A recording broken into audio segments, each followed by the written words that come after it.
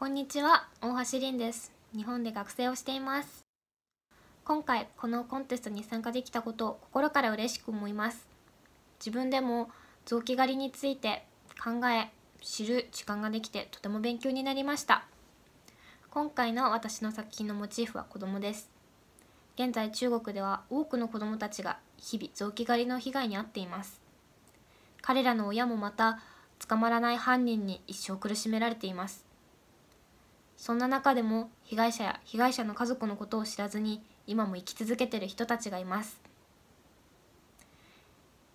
彼らのために私たちができることは伝えるということです。私の作ったポスターが人々が臓器狩りについて知るきっかけになってくれれば幸いだと思っています。今回は本当にありがとうございました。